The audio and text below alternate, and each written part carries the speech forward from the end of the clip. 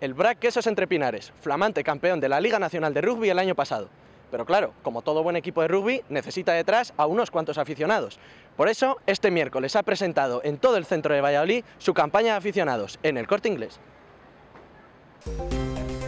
Una campaña de abonados que, en boca del vicepresidente José María Valentín, pretende alcanzar los 800 socios. La política a seguir mantiene una línea muy parecida a la de anteriores años, de hecho, los precios no han cambiado con un carné normal de 60 euros y otro de socio oro para aquellos que puedan aportar algo más al precio de 100 euros.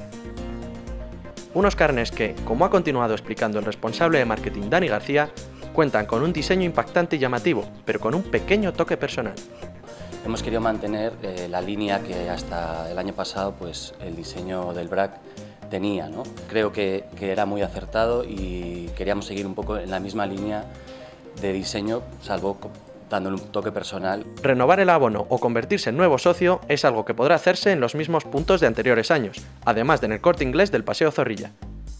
Por otra parte, el club ha aprovechado para explicar cómo será la pretemporada tras dos semanas de entrenamiento. El BRAC jugará el día 24 en Memorial Hermosilla contra la Universidad de Vigo, el 31 un triangular contra El Salvador y el Cardenal Cisneros y ya el 8 de septiembre la Supercopa ante el Ordicia. Algo de lo que tiene muchas ganas la plantilla la plantilla está muy animada con la apuesta del nuevo entrenador.